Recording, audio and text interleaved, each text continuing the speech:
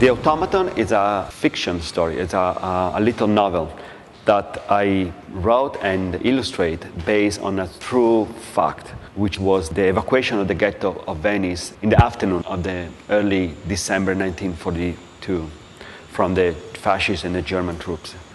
The story is a, a story of an old Jewish man living in the ghetto of Venice, which is very alone and poor. He was a former watchmaker, so he decided to build an automaton to keep him company. The story was told to me and my brother from my father when he was little. So one day I was in a subway sitting in New York, and in front of me was this old Jewish man sitting. And I was looking at him and I thought, this is the old man, he's the watchmaker. So that was the spark that made me start to think about the, making the, the story real. During the 40s, an old Jewish man lived in a ghetto of Venice. He spent his time wandering through his neighborhood, thinking of his only passions books and automatons. His solitude was also the solitude of Venice during the winter of 1942. Many Jews had already escaped from the ghetto. One afternoon, the old man decided to construct an automaton in order to keep himself company.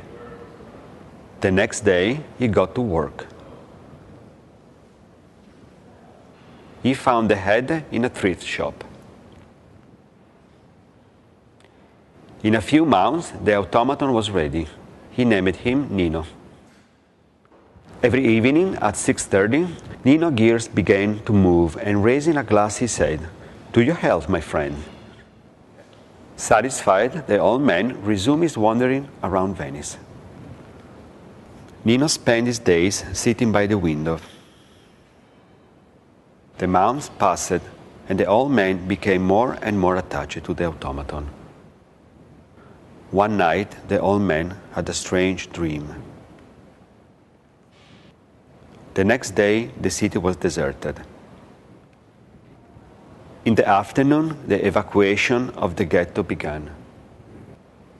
The Jewish were taken away. Some escaped from the roof. The old man took Nino in his arm and hid in a niche behind the bookcase. The fascists entered the house of the old man. It was exactly 6:30 in the evening. The automaton began to raise his arm to make the toast. To your health, my friend. The old man held Nino tightly in the last embrace, knowing that their hand had arrived. But suddenly, the gears came to health. The automaton said nothing. The fascists left the house. The night was quiet. The old man wrapped Nino in a blanket, and at the first light of dawn, he threw him in a canal. It began to snow. By late morning, Venice was covered in white. The end. I used to use dolls to make a life in my, my world. At one point, I decided to be me in my, into my world. So I decided to walk into my little box. All the characters are always me. So in a, maybe in one image you see eight on me, six on me, seven on me, but I want to be the only one.